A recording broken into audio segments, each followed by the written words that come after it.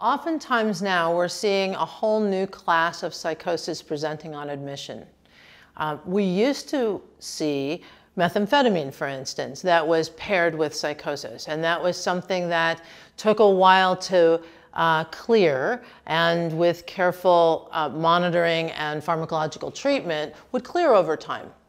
Now we're seeing people who have used um, synthetic cannabis just even a couple of times, or people who are chronic cannabis users but now are smoking strains that are actually stronger than what, they're, what they used to smoke. So now we're seeing this whole new class of cannabis-induced psychoses, um, which take a lot longer to abate, often and are often more severe than the psychoses we would normally see, and even more severe sometimes than you'd see uh, with an endogenous psychotic disorder.